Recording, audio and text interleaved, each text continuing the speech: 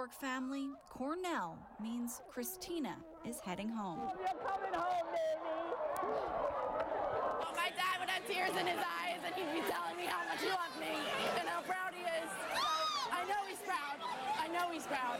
Proud as Christina takes her next step, residency at Cornell, toward becoming a pediatrician.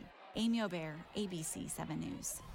Brings a tear to your eye. That is awesome. Congratulations to all of them, but especially her. She gets to go home. Mom gets to be close. We feel proud of Christina as well as all those grads. Congratulations. All right, now a storm watch alert. My gosh, look at the water going through there. Just- That was a road. Now it's a river. Incredible video coming in from Nebraska where rain and snow melt from a bomb cyclone, which is what it's been dubbed, have brought major flooding and a state of emergency. Entire buildings have been swept away and bridges collapsing. Look at the aftermath. The same storm system also blamed for tornadoes leaving behind this trail of destruction in Michigan. That was some storm. It, It's been a rough season. it has, it has, and the severe weather season is, is unfortunately Still ahead. Still ahead. It's going to be a quiet weekend, uh, at least in terms of severe weather around the country, which is Good. very good, and that includes our area as well. Let me get you out the door tonight. It is very warm. We've seen a few added clouds, and we may see a stray shower or two between now and roughly 9, 10 o'clock tonight, but extremely mild conditions. 74 in D.C., down from our high of 78 today. 73 Chantilly, same thing with Gaither- Gaithersburg, Martinsburg at 75, and Leonardtown right now at 70. So we look around the metro, just a few clouds. We look around the entire DMV. We've had some showers earlier into Montgomery, Howard County, and moving out of our region.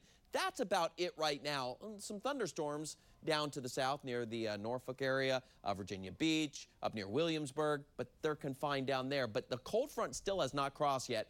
And as it does, it could bring us some showers and storms. So we still are in that general thunderstorms risk around the DC metro. That will update at 8 o'clock tonight from the Storm Prediction Center. Marginal risk in this light shade of green. But tomorrow, no storm risk in our area. And this is pretty rare for this time of year. We look across the country, no thunderstorms forecast at all anywhere on Saturday or Sunday. Not even the general thunderstorms risk, which is great news because we just need a break after that incredible week that we had.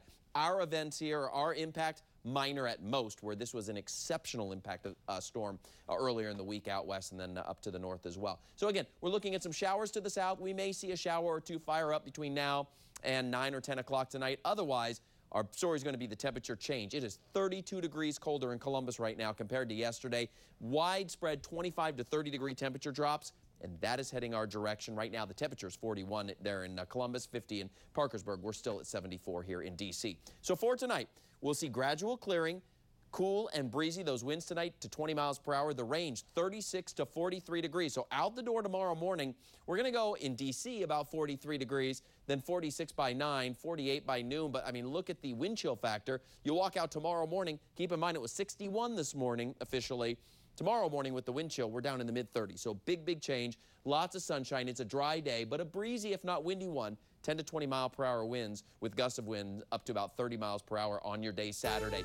We're dry on Sunday, your St. Patrick's Day, just chilly with a high temperature just of 50 degrees. We'll watch a weather system bring us a few light showers potentially Sunday night and into Monday. And you folks in northern Maryland could have a couple of snow showers into early Monday morning. It moves through very quickly. And then we're just going to stay below normal for a few days. And spring officially begins here on Wednesday. Scott, we'll send it over to you. Ah, spring. I love it, Bill.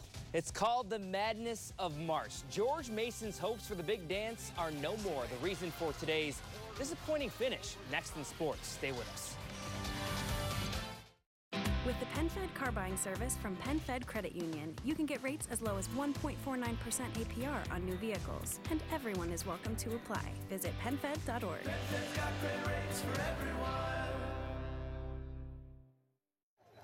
You know what you taught me, Granny? How to accessorize. Yeah. How to cheat at poker. Well, no, but French cuss words. yes, but also how to make real Southern butterfly shrimp. You gotta use buttery crackers for the crust. And fry them up fresh. Yes, ma'am.